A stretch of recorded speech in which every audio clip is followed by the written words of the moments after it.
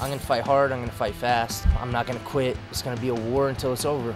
People haven't seen where my level has risen to. Everybody that's coming out, I would say thank you. I appreciate the love and support. John Mercurio isn't ready for what I'm about to bring to him. I'm gonna put him to sleep.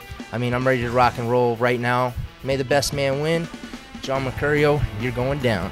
We'll see you at Respect in the Cage.